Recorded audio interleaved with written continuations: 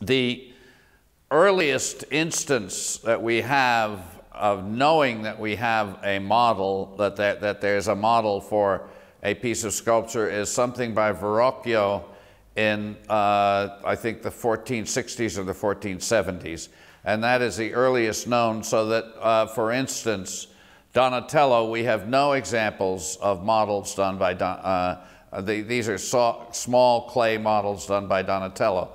By the time we get to Bernini in the 1600s, all of his sculpture was done by first making a clay model.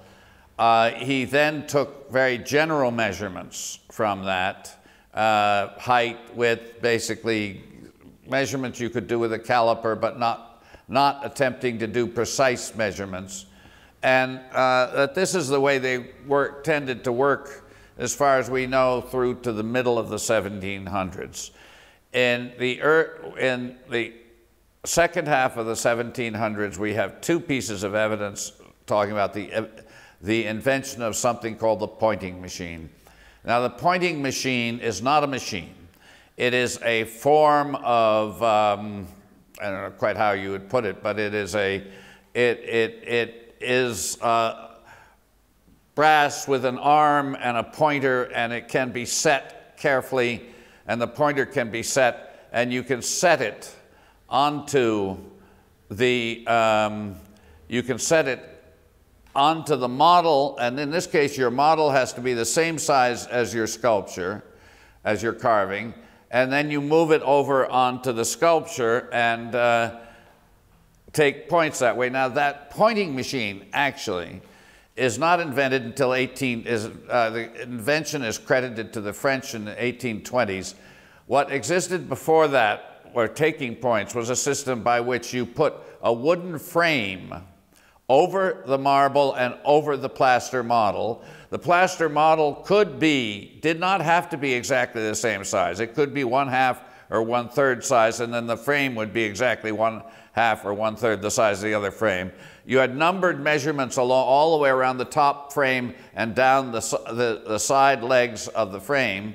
And then you would drop a plumb line, say over the, over the number six, measure down the plumb line and then measure in from the plumb line to where the statue is. And then you take a plumb line on the frame over the stone and put it at number six and take that caliper measurement down and that caliper measurement straight in and put a, drill a little hole and put a point in there. The earliest sculpture that I know of that has a point like that is one of the bas-reliefs on the, uh, on the Trevi Fountain, which was done between uh, 1758 and 1764.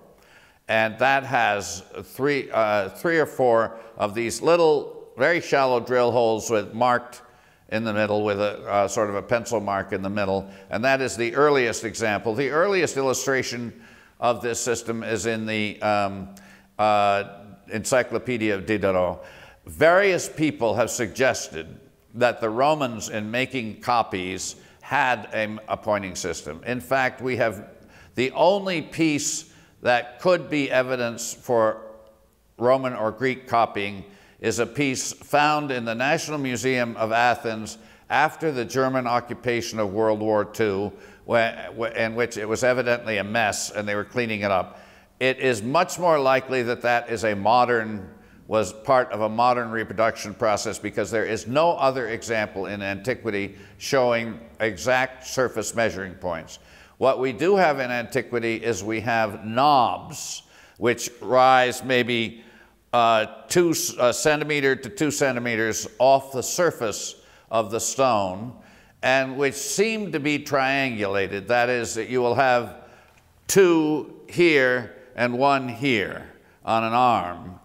And we have several instances of statues with these, with these knobs on them, which do suggest some form of measuring system. What we don't know is what the form was, whether it was working from a model or perhaps working from a drawing, um, what, what, what it was. The other thing we knew, do know about, we talk about Romans making copies, but if we take, for example, a sculpture of Lysippus, of which there's no originals, but there are several copies of each statue.